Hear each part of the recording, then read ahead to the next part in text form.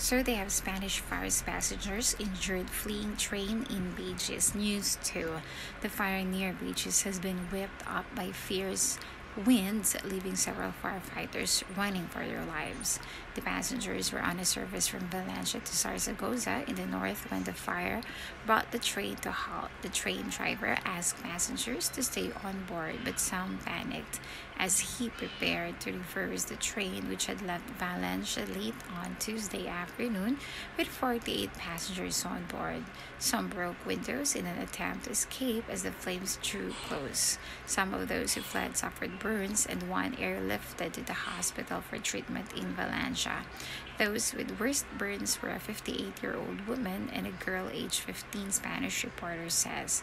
The driver eventually moved to the back of the train and retreated to the nearby station of the train. Caudiel passengers who had fled along the tracks rejoined the train, and those who were injured received initial treatment.